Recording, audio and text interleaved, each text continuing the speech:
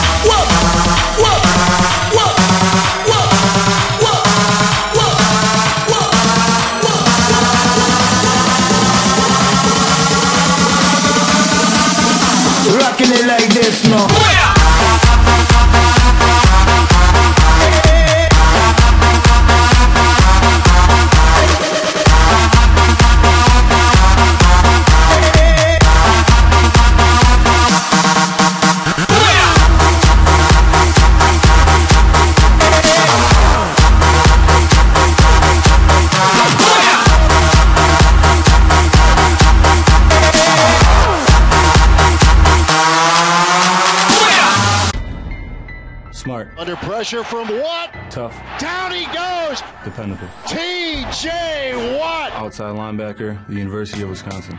Pressure coming. One word to describe my style of play is grit. And there's Watt to finish it off. I'm full tilt, 100 miles an hour every single time I'm out on the field. That ball was picked off by Watt. What a play. TJ Watt is someone who lives football through and through. I really don't have many hobbies. All I do is play football and hang out with my family. I have two brothers in the NFL. JJ Watt plays for the Houston Texans, and Derek Watt, he plays for the Los Angeles Chargers. JJ told me just to be myself, have fun, and don't worry too much because your natural talent will take over. It's important to, to come to the combine because you have 32 teams who are trying to hire you, and, and they're all in one spot. This this doesn't happen very often, and to be able to represent yourself, represent your university, represent the town of Pewaukee is is truly a privilege. Go get it, DJ. My goals for the combine are to go out there and just showcase everything that I have, and just hope that a team falls in love with me. I'm not going to try to do anything special, try to be Superman. Pretty good right there. I feel like my talents are going to be good enough to get the job done at a high level, and that's what I'm going to do. Keep working. Let's go. Keep working. Keep working. The highlight of my football career hasn't happened yet. Uh, I've had a lot of great uh, plays and a lot of great memories at Wisconsin, but uh, my best years are ahead of me, and I truly believe that.